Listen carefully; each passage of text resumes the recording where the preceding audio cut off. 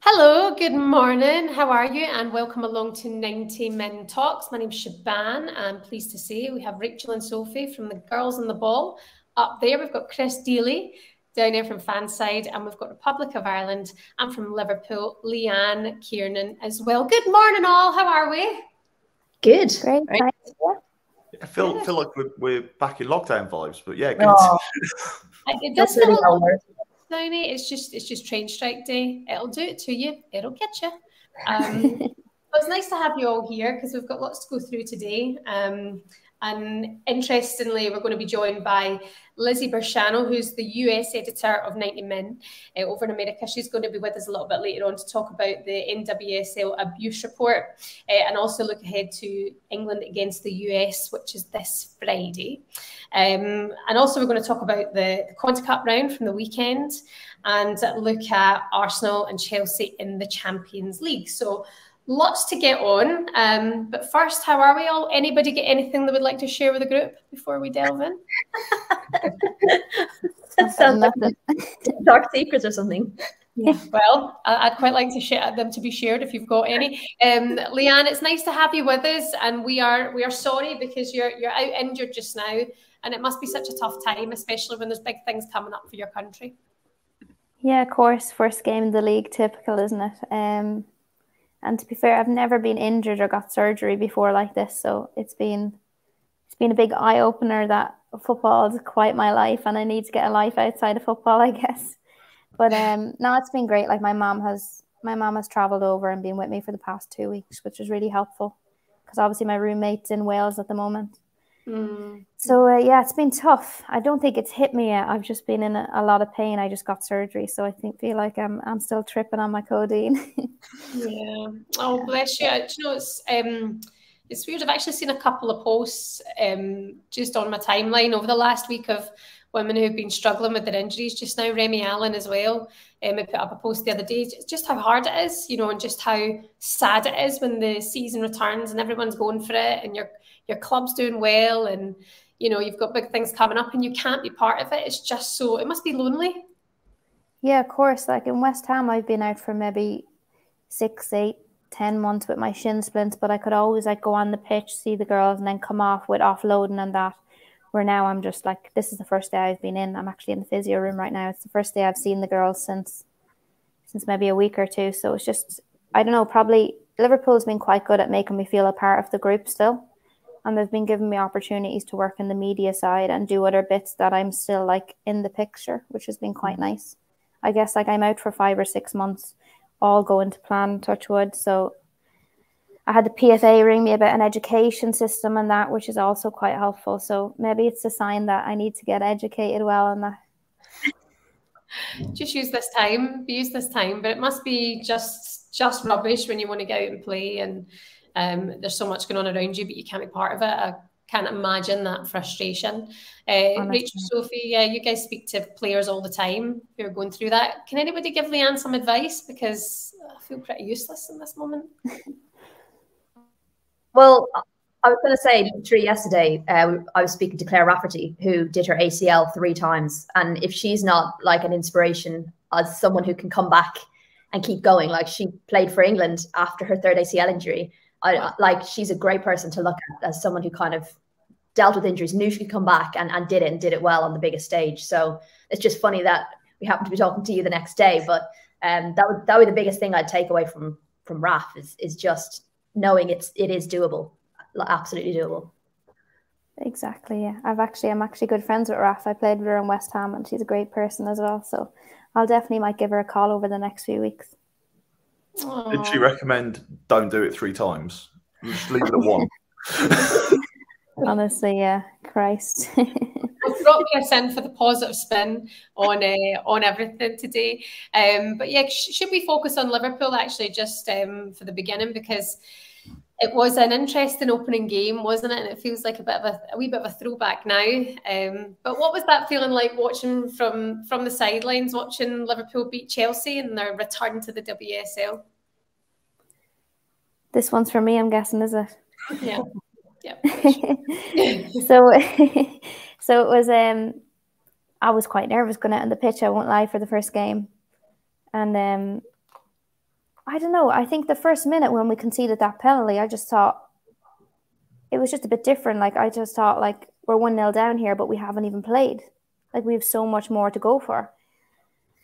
And I remember, I think it was the 50th minute I went down injured and got taken off. I was screaming. I was in the physio room screaming, and I could hear the whole crowd cheering. And I goes, "Oh my god, I think we've just scored." So yeah. I got the physio. I think he lifted me out, and I hobbled out, and I seen we had a penalty, and I goes, "This is amazing." so we scored the penalty, and then I obviously sat there. I'm not gonna lie, I was in a lot of pain, but it was helping me that Katie Stengel was just popping the ball in the back of the net. Mm. And when she got the second, I just thought, you know what, this season, this season's going to be an eye opener for people that maybe think we're underdogs, and that we're just not here just to to be here in this league. We're here to compete, which is really like I feel like we've worked really hard over preseason, and we have a great group of girls and a great quality in the team. It's just on our day we just we can show it. So hopefully, hopefully we crack on from there. Chris, what have you made of uh, Liverpool since the return to the WSL? As we know, it was a shock. Even the Liverpool players were, were seeing that as well. Um, but what do you want to see more of moving forward? Um, well, I mean, I don't know if you remember our preview uh, show. I had Liverpool maybe struggling a little bit. So I, I think anytime I, I know, I didn't know you were coming on. Uh, so I think basically you've just got to have me on every time and just say, ah, well, this weekend's probably going to be tough because I wasn't on before the Everton game, and then look what happened. So, yeah. Uh, but no, it's it's you know it's it's it's what kind of what you're saying. You know, the the the getting the group together, keeping the the momentum positive, and you know the I guess the confidence that comes from being a team like Chelsea um, does wonders for your season that early. Exactly, and to be, you know, just you know, shortly after that crowd, Leanne, what an amazing turnout at Anfield. Do you know what? It was an amazing experience, and the fan, the fans in Liverpool are amazing. You'd hear them a mile away. So, um, no, it was great, and it wasn't just kids there; it was families, it was people that was working on our apartment building, the whole workers, they're all heading to the game. And I think mom was saying that when she flew over, the whole Ryanair flight was just full of people just coming to our game. And wow. I just think that's mad to think like Ryanair is filling out flights to come to a women's game. I think it's amazing and how far the women's game has come. So um no, it's been really nice. Unfortunately, we didn't we didn't do great on the day, but it's definitely a learning curve and hopefully we'll get another chance to prove ourselves in Anfield. I mean, I, I loved it, and even sitting down on the on that Sunday night to see putting on Sky Sports and seeing the game live there after a big weekend to see the turnout like that as well. Um, and to see, you know, a brilliant game. You know, you've got to hand it to Everton. They were, they were, they were really, really strong. Um, and even then, you know, because we had previewing that game, we were actually looking and going, Everton have to turn it around, you know, massively this season. So um, yeah, I mean, I, I found it a thoroughly enjoyable experience. I know it wouldn't be from the scoreline. What was what was the um, the the aftermath of that game from Matt Beardley? I think it was just like we're in the WSL now. We know that we can't afford not showing up. Like in some games, that every tackle, every recovery run, and every pass counts. And when we get the ball back, to keep it and that. So I guess it's just about going back to the drawing board and working hard and training. And maybe it was um, a dose of reality that we all needed just to kind of say now, like we got to, obviously, the girls are great and they're always going to work hard. But Everton on the day, I'll give it to them. They were brilliant. And we'll be ready for the, the Goodison Derby. Don't worry.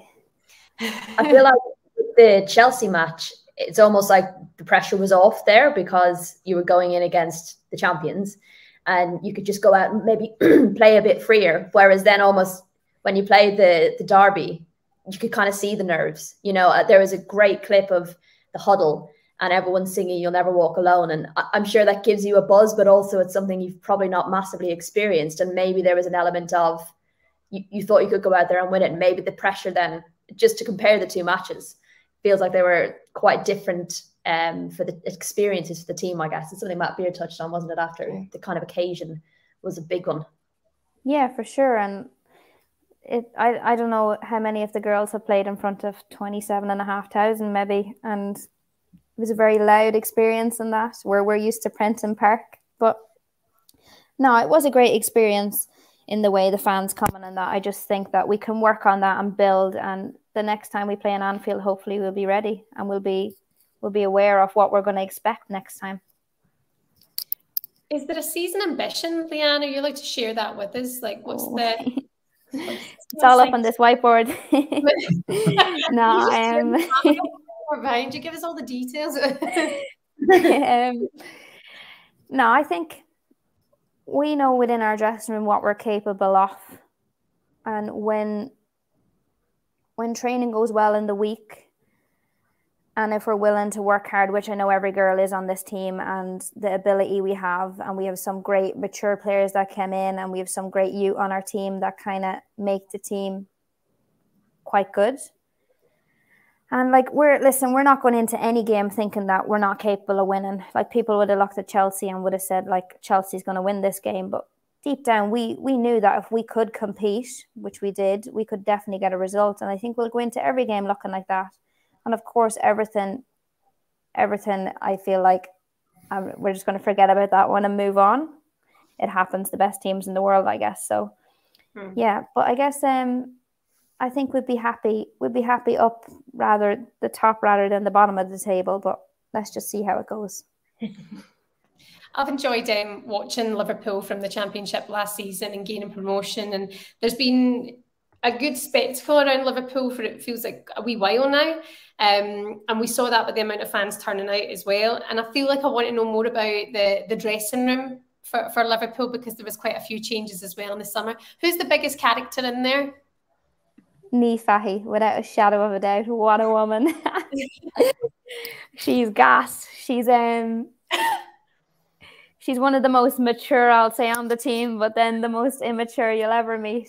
So um with COVID, our dressing rooms have been split and we never went back because we're quite content 11 and one, 11 and the other, whatever. So I have Fahey in mine. She's just, she's a gas ticket. Like you just, I've never experienced anybody like her. When it comes to captaincy, like one of the best captains I've worked under. Um, I've obviously worked under Katie's been brilliant too, and Gilly Flaherty. But um, I guess just really good at knowing when you need like a kick up the arse maybe, and like you need to get you need to start working, Leanne, or you need like a hand on the back just to say like what's wrong. I feel like she's really got that down to a T, and everybody respects her, which is quite nice to see. And you know that like if I had any issues off the pitch, which I often went to Fahey because I trust her, trust her with my life. You know, I feel like she's a very genuine person, and she's been one of the reasons what attracted me to Liverpool. Wow, that, that's huge praise there. Um, I also want to ask about Taylor Hinds. Is she single? Because I think I might be in love with her. that How beautiful is that woman? She is so stunning. Anytime she gets on the TV, I was like, I'd feel like that shouldn't need to be. You need to be reminded about that. Um,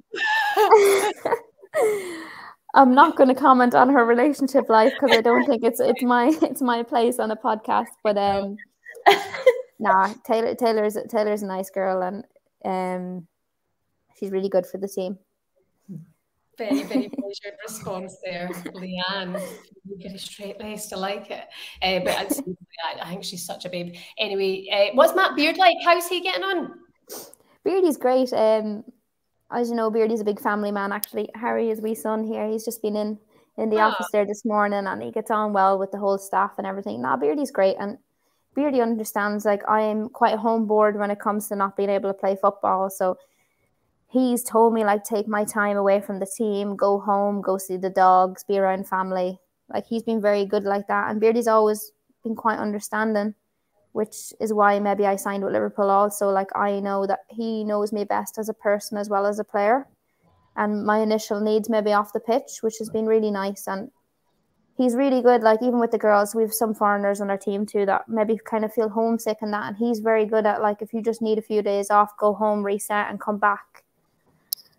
And I guess like he's a family man, he has kids himself, and he realizes that it's it's sometimes a tough environment to be around. And a break's quite good. No, but he's been really good, and I've learned a lot throughout the last. This is my fifth year under Beardy. Actually, he's my only professional coach, and um, I'm not gonna lie, I was like a headless chicken coming in. God love him. he had a lot of work to do, but um, no, I feel like I'm I'm understanding the game a lot more, and he's very good at individual. Like I will put my hand up, and I'll feel comfortable by saying in front of the team, like I don't get what you mean, and he would never belittle you or anything like that. He would he would encourage people to put their hands up and want to learn and understand why I'm as you know with women we we get told what to do but we want to understand why we have to do it where men mm. will probably just go and do it where I feel like he's very good like that so I've total praise for him so far anyway I think you look at um the Liverpool squad and I think we none of us were worried about Liverpool this season because of the squad but also because of Matt Beard and the kind of the experience that he brings you know and that sort of what he's done before at Chelsea, Liverpool, Bristol, and back at Liverpool, and then also in Boston. You know, he's he's been there, got the t-shirt. He's so experienced, um, and I do think he he brings the best out of his players as well. Um, I get the feeling when I talk to to people. Yeah, exactly, and he's a his background staff's been brilliant. Like the analysis guys, the S and C coaches, the physios, assistants. Amber's great, Maka. Like he has a lot of help, which really does well with him. Like I feel like they all have a great relationship. Like I'd often go into sometimes his um the office is the best crack out of the whole place. You go in and you just have a chat and he has Carlsberg zero in the fridge if you want a zero. oh, I love that. I love that. and a coffee and yeah, so sometimes even though I've been out, like it's just been two weeks now, but I I go in there and you just gossip sessions with the doctor and that. Like it's a really good, it's like a, a family environment, I guess. Like Oh, that's yeah. lovely. But um, no, it's, it's good crack. Yeah, no, it's, it sounds. I love that he's got a wee Carlsberg zero fridge. uh, really, that's that's the kind of guy I'm after. But see, um, in terms of the, we, we've been focusing a lot on this show about the clubs that are very much so seen over the women and the men, and it's all one club. Liverpool seem like they're they're setting a bit of an example there. How involved and how linked are you to um, the men's side or the men's team? Yeah, I guess I've um I've heard Liverpool in the past have not been as good, but now definitely I've signed. I've been here a year and a bit now, and they've been brilliant. Like Jurgen, I remember he presented Fernie with her award last year, and he said like he would love us to be a one club and a part of it. We train, we train on the Wirral actually, so we're not at the AXA Centre, but I feel like Liverpool are are gonna provide us with a, our own state of the art training center in the next year, hopefully. Wow. Um, and no, they've been great. And all media things, like I remember the last media kit kit launch we done, I was sitting beside Mane and Trent and a few of the lads, and they're just all down to earth. And Klopp's there, and he's having the crack with us, and like they're all human at the end of the day. And some people forget that, like obviously they're professional footballers, and a lot of people look up to them, but they are very sound and Klopp's, you can tell he's a proper family man, like the way he had a great relationship with Curtis Jones and the young lads on the team when I was there because we were there for a few hours and kind of like a dad vibes. but no, it was really nice. And um, they'd always come out of their way to come speak to us. Trent was actually at one of our games in Prenton last year. And I saw that. yeah. Yeah. Just sitting beside, sitting behind me with his friends. Was he learning like how to defend? Sorry? Was he learning how to defend? I won't comment here. Um, but no, like they'd definitely be good, and I feel like the open top bus tour around when they won the league in that. I missed it. I was actually stuck in Paris, the Champions League, but I think the girls had a great time and a great time with the boys and that, so it was quite nice. Great. Brilliant. Um, let's move on, shall we, um, and talk about the Conti Cup from the weekend as well, because there was a couple of upsets in there, but I think the one that we were all focusing on was Aston Villa beating Manchester United on penalties. Um, Chris, what did you make of that performance? Um, I think they must have borrowed the uh, the goals that Ajax set up for the Arsenal game because what seven penalties saved in the shootout? What's going on? Was it seven? Seven saved. Seven, yeah. seven saved. Anna Leat saved four. Um, yeah. But yeah, I mean, seven in total saved in that penalty shootout. Mm. That's a wee bit bizarre, isn't it? That's insane. great saves. Like, absolutely brilliant saves. Anna Leat on, I think it was on Abaje. Um, I don't know. She seemed to fly past the ball and then bent her arm around to get claw it out of the goal. I was like, "What are you doing? Like, that's ridiculous." um, no, it was it was a quality game. I think. Um, I'm very impressed by Aston Villa.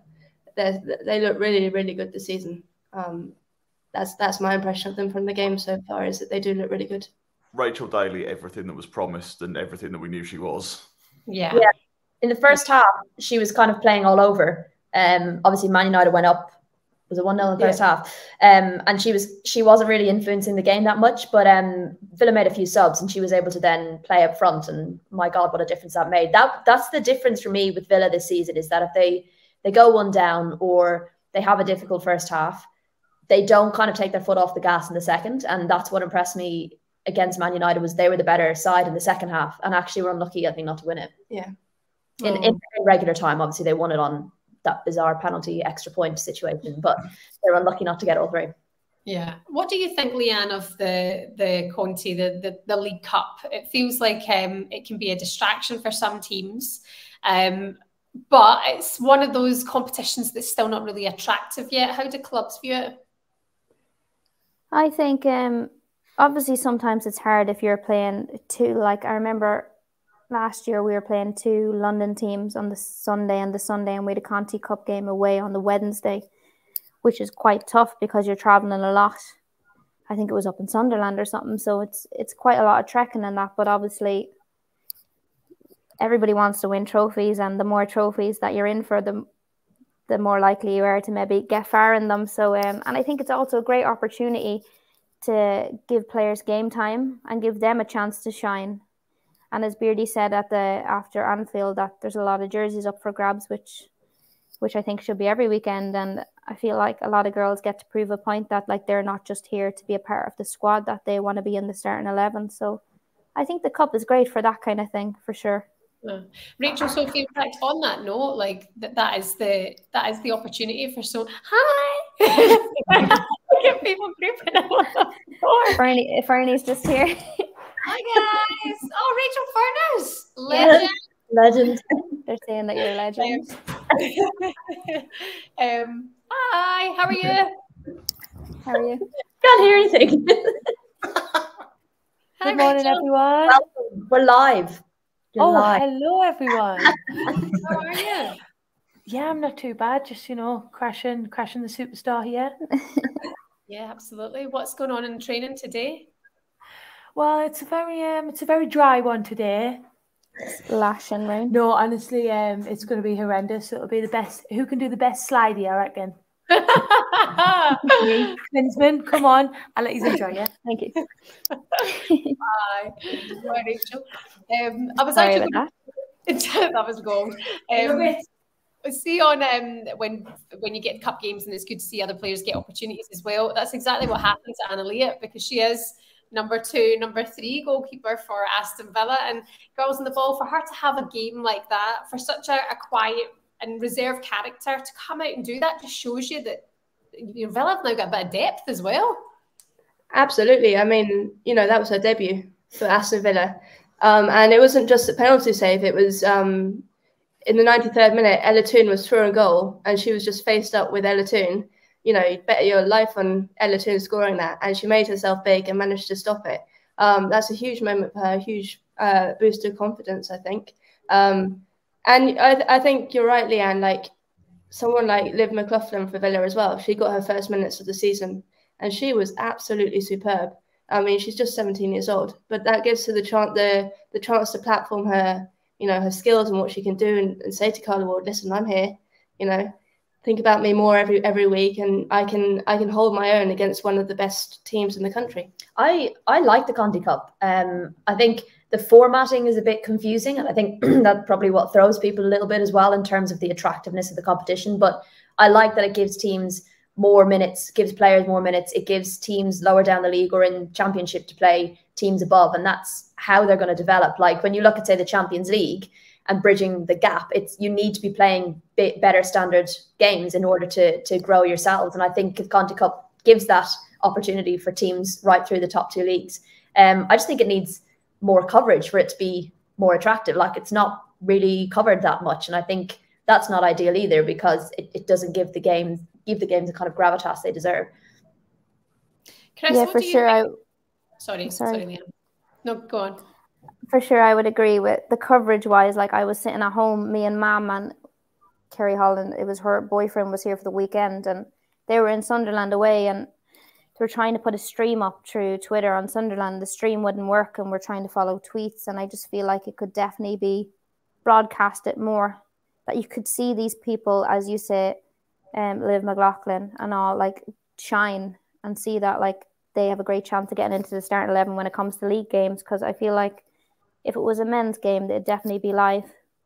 Yeah, yeah exactly. I mean, look, after you know, you, you always you know, I think the, the, the, phrase after the Euros is is pretty much rote at this point. But you know, after the Euros, there's such an appetite for you know for people to, to, to be able to go and watch more women's football. Like the Conti Cup's an opportunity to do that, but you, you've got to actually put it in front of people. It's it's the it's the same thing as always. Mm.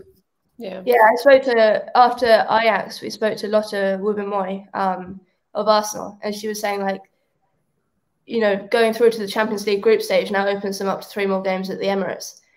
That was what they're calling from from from the Euros, that kind of thing. And it's about trying to make it as accessible as possible. Every single game as accessible as possible um, for people to encourage the demand to grow. But even the demand is there. We've seen the demand is there.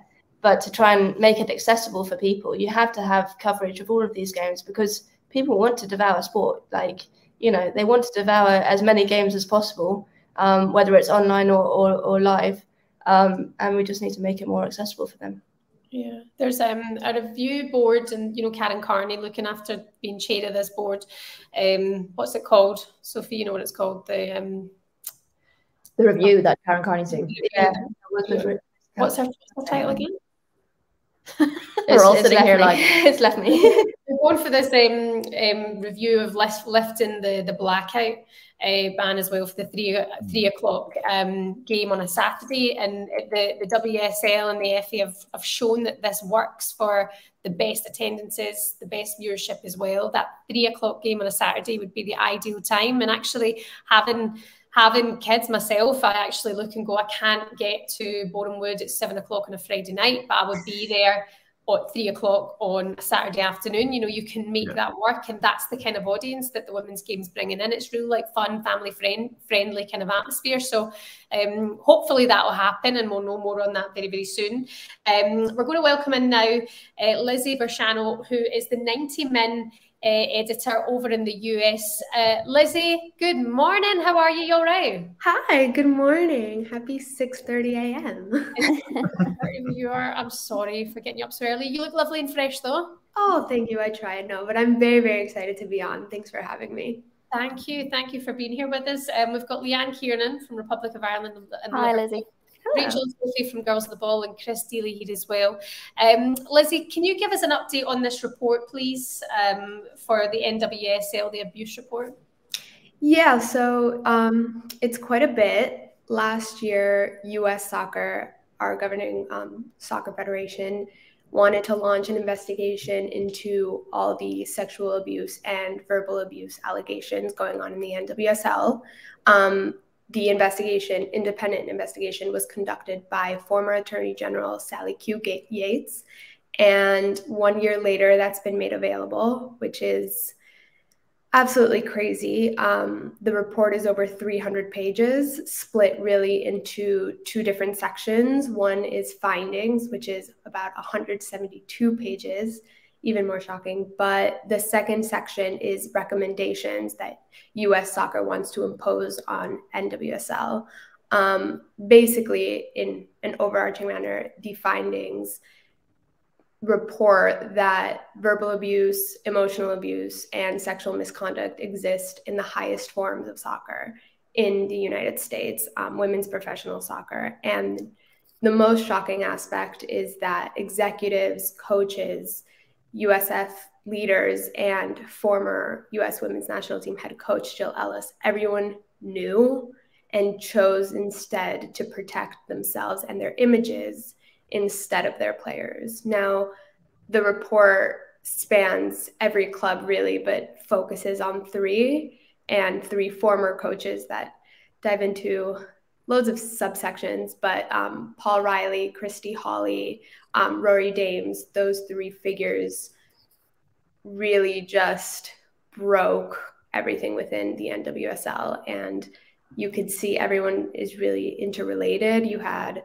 former GMs and current GMs of um, NWSL clubs recommending these coaches and firing them for sexual abuse from one club, but then publicly saying, um, we parted ways or we didn't renew them, but I recommend him in the former club. So it just spanned years and years, and no one really got to the root of the problem. Oh my goodness, that is it's actually giving me chills a little bit. I mean, that's really um, sad. It's just really, really sad. Lizzy, is there going to be a change from this? I take it. I mean, people are feeling more comfortable now to come out and speak. People are sharing their experiences now as well. Um, we hope so. It's going to be a long process. Unfortunately, a lot of the people involved in the investigation are still currently with the teams. So now there's pressure from players and fans for these individuals to sell their shares and no longer be part of the league as a whole as part of the healing process. That has not been done. Um, US soccer also said we can impose, but we cannot infer or rule over the NWSL, which is shocking.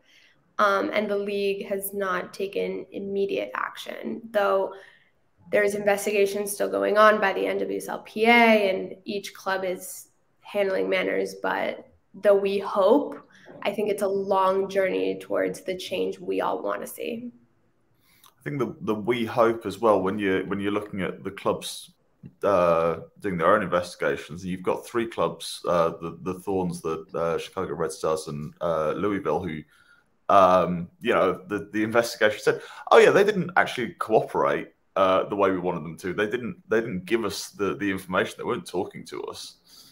Um, Not only which... that, um, they were threatening witnesses, they were threatening employees with NDAs. And it's comical at this point because the owners of these clubs came out with a statement saying they will no longer govern, but they're still part of the team. So there seems to be a complete lack of accountability, um, which is startling. There was a line in one of the reports that, um, because obviously it was systematic, so it was right through the, the youth levels as well. And it touched on how many of these players, because they'd experienced these behaviors and abuses from a young age, that by the time they got to pro level, they didn't even identify these behaviors as abusive, which is just so grim that like it's so ingrained in them. Um, and it also, I think, highlights for me the way sport tends to be elevated above all else, and clubs tend to be elevated above all else. And we see it in the men's game here. If someone does something seriously problematic or breaks the law, you know, we don't want the way we enjoy our sport or our club to be damaged by that. And that seems to be the priority rather than the victim.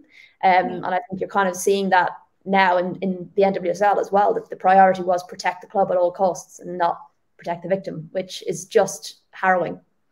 Leanne, how do you feel listening to this that players went through that? You know, um, the article came out yesterday and I, I had read it and it was actually one of my um, good friends that I experienced that, and I had no idea. And I just texted her and I just said, I'm so sorry. Sorry, because I had no I had no idea she went through any of that. and I just said like I'm so sorry you were alone experiencing any of that because it's just horrendous. Yeah. Um, Sorry, I just had no idea, and it was just I just seen it. Somebody sent me the article, and I just thought like, how somebody can do that to an innocent girl, and how it could have been like anyone's daughter, I guess, or anything. That's yeah. the organization fostered this. Like you can't, you don't feel supported. You know, to come forward and actually say these things, and that's what's so heartbreaking is that people ultimately kind of went through this alone, you know. So to have these players then to come forward, knowing that makes them makes you realize just how brave and how strong they had to be to be able to come forward and to keep knocking on that door because without those players knocking on that door, it would have been swept under the carpet. So for me, like they're just absolute heroes to be able to do that, to recount those tales and keep knocking on that door until something's done about it. Yeah.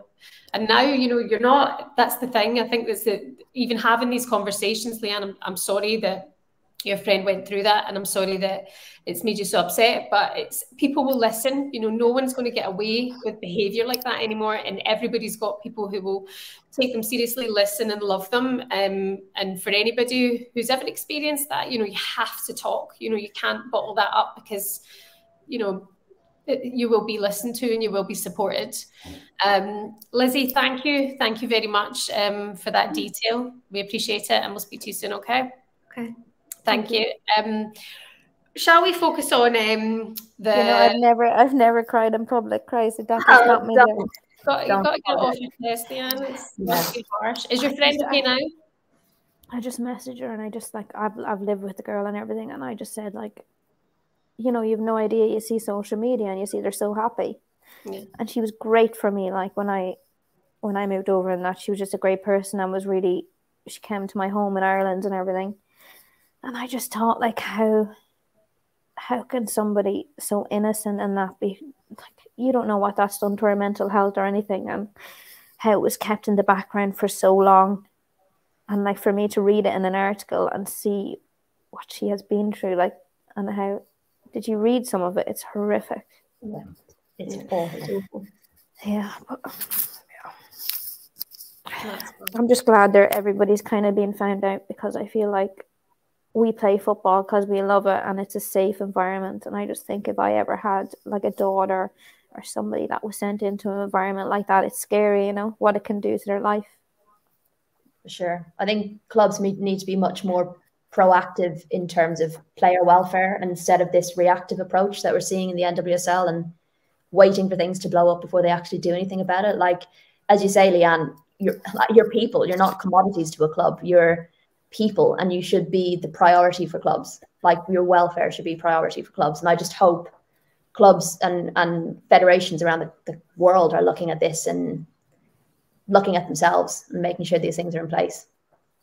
Yeah for sure and it's just yeah it's just you don't know you don't know um it's kind of scary probably for as you say Shebahn, you're a mom like sending your kid to a coach like you don't know what they're going to expect i've been lucky that like thankfully I've never I've never experienced anything like it. I've never been put in that situation like manipulation and that. So um but yeah, it's just it's horrific. And I yeah. just really hope that it's been like the amount of them coaches and as Lizzy said, a hundred and something pages of that. That's just outrageous how they're getting away with it. Mm-hmm.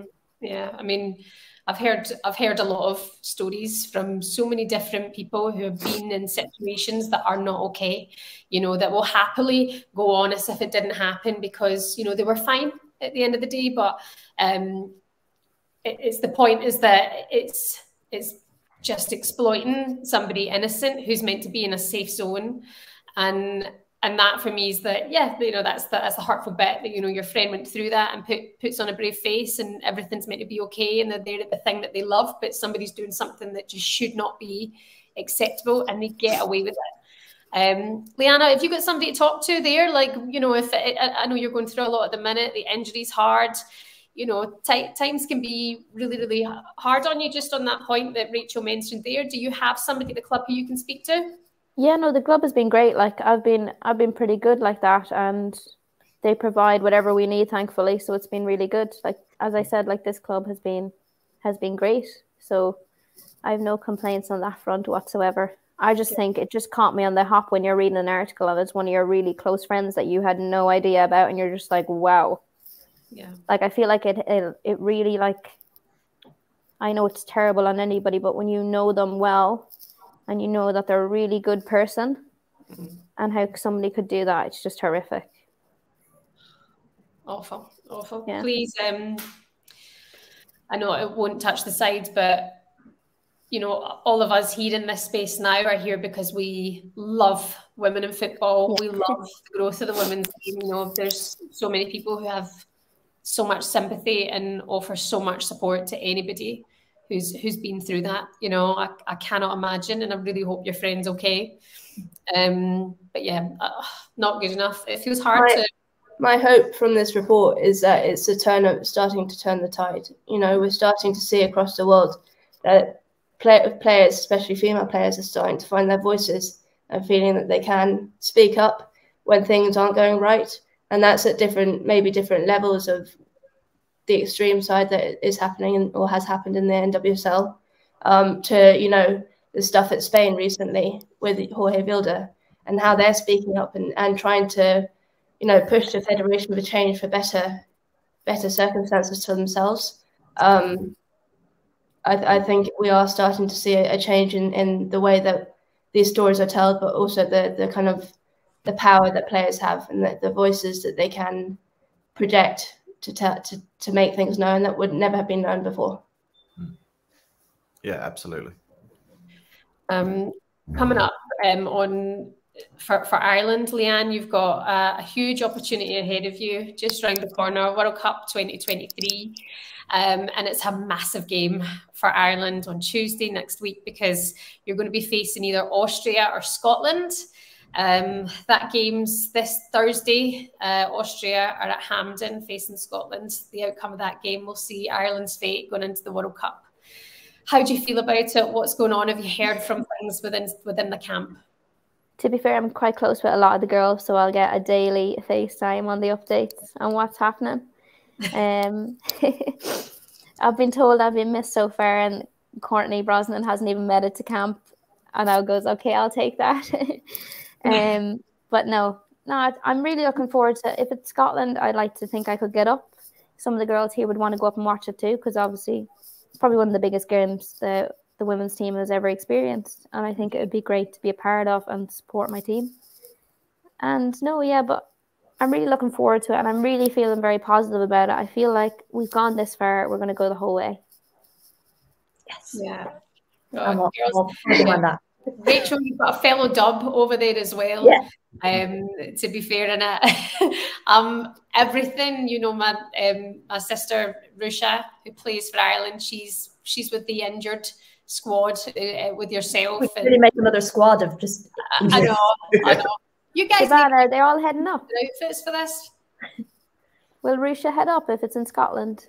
I, am actually going to speak to about that today. I think so. I mean, and that even Matt, I, am on a nerves ending the idea of Ireland against Scotland because, hmm. well, a, I, I like the idea of that being at Hampden and you know the ticket sales for that. Scotland are, are struggling. You know they, they you know Ireland selling out uh, at Tallaght Stadium just a, a, few weeks ago was amazing. You know yeah. next step you'll be pushing for the Aviva and then Scotland trying to sell out at Hampden. You know the, I think the most they've ever sold ticket wise was 18 and a half thousand and that was a few years ago now. You know really trying to just grow the women's game in these in these smaller countries that are just everything to us.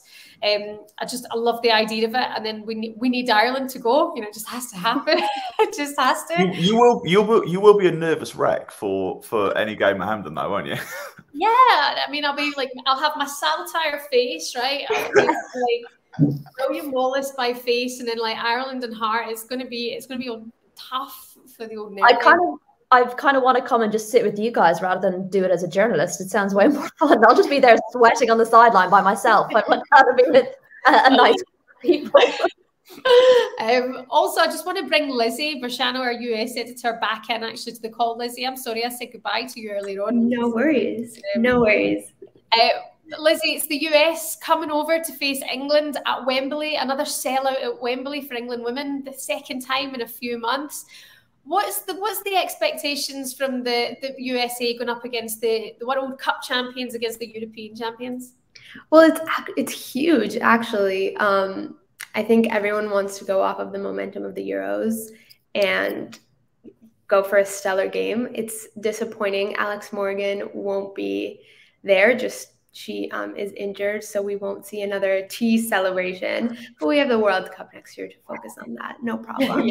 um, but no, the expectations are huge. I think sadly the report came out and um, kind of dimmed the light on everything. And head coach Vlatko Andonovski has said if any players need to miss the game, miss any press conferences, miss anything, it is completely acceptable. And Becky Sauerbrunn, the captain, has said players are not necessarily doing well, but there's still this excitement. England is a huge opponent. And I think really everyone's looking forward to these new faces like Sophia Smith and seeing Mallory Pugh again, Rose Lavelle as a veteran. It's we're excited. I think above everything going on, we're still excited to see the game. Because Rose Lavelle, a veteran, I remember when she was like big to break out star. That makes me feel old. I was gonna ask. That's horrible. Yeah, before I I don't you know USA was always a team everyone wanted to play because the best in the world. So it's always a big game for whoever the opponent is. But it maybe necessarily wasn't the, the, same in the reverse for you guys. It maybe wasn't such an exciting deal to be playing some of these teams. But now that England won the Euros, now that they've sold out Wembley, it's almost like it's equally exciting for both teams, which maybe we haven't kind of had that before. Would that be fair? Yeah, definitely. I think from our end, it's a huge opponent. And one of the most anticipated friendlies. I've seen more people than I can kind of jet off to England to watch the game. And that, like, it's been a huge movement, really. Like, everybody wants to watch this game. I remember everyone was buying tickets, and the queue was unreal. It was like 13,000 people in front of me. So I waved goodbye to the game. But everyone else was getting to go. It's it's this huge excitement, and we haven't seen that in a bit. And U.S. plays friendlies constantly. We've played Japan, Saudi Arabia, um, Uzbekistan, like, but I don't think I've seen quite the commotion that I've seen with this game. I will say, I think it's um, on behalf of RFA, it was the biggest marketing coup they could have, have, have wished for. I mean, they did it two days after winning the European Championships that they announced the, the US coming to Wembley. You know, we talked earlier about having that bounce from the Euros and having that momentum. You know, this is a way to do it, and having these kind of world championship against champions against European championships is, is absolutely huge. They sold like 60,000 tickets in pre-sale alone. And that was before they even went on sale, which is just, I mean, you used to talk about queues. We also got tickets and you were in the queue online for like four hours or something. It's just insane. It's going to be Absolutely epic. Um, can I get your predictions, please? I know it's a friendly, but there'll be nothing friendly about it. There's a few changes to the England side as well. Leah Williamson, uh, their captain, is now out injured, which also sucks for Arsenal as well. Uh, Alessia Russo's um, out with an injury. Of course, then we're missing Ellen White now from the England side. Um, wondering if we're going to see Rachel Daly further up the pitch after our Aston Villa Wonder Weeks. I mean, the, everything's possible. Uh, Leanne, I know you're diehard Ireland, but can you give me a prediction for this? Feel free to go for the USA. you know, I haven't seen the US play recently, but I'm gonna go two one to the US. um, one, play Rachel Daly up front always. Two, uh, England to win 2 1 like they should have done at the World Cup, but for the villain Phil Neville. Lizzy, Lizzy's in my Girls on the ball, what do you think is going to happen? I am going to go 2 1 England because I just can't see past Sarina Wiegman. I think she's, she'll win it. Yeah. 3 2 England. I want oh, So yeah. Lizzy, any thoughts? Yeah, I'm gonna agree. Three two US. Um, going for the drama. Yeah. Oh gosh, it's gonna be it's gonna be an exciting. What to be a nil nil draw? yeah. like yawn. England uh, doesn't no, concede goals. That's true. Um, everything and it's out nil nil. I can't wait. A massive week coming up. Scotland against Austria on Thursday. Everything crossed for Scotland. Then it's Leanne, the Republic of Ireland against Scotland or Austria. uh, we will see what happens either in Scotland or away at Austria. Oh, guess for Wales Bosnia. Uh, and Wales Bosnia. I'm sorry. I'm sorry, Chris. I'm sorry. What can we expect from that? Um, Wales to win comfortably. It's going to be great. They've got they've had a scoosh. Um, interesting times, guys. Thank you very much all uh, for your company today. We'll maybe see some of you on Friday at the game. Uh, Leanne, best of luck with your recovery. Really Thank good you. to have you. Thank you for having me thanks for such an honest chat as well. It was good to good to get such insight from you and know how you're doing. Of course, yeah. Thank you. Thank you. you Girls on the ball, Lizzy from uh, the US. Thank you very much for your time and have a good one. Okay. Thanks, guys. Thank you. Bye. Bye. Bye.